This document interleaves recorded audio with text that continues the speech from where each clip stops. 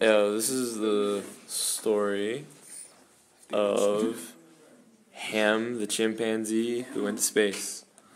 Um, Ham was doing this thing one day. He's chilling. He's like, I'm a monkey. What's up, y'all?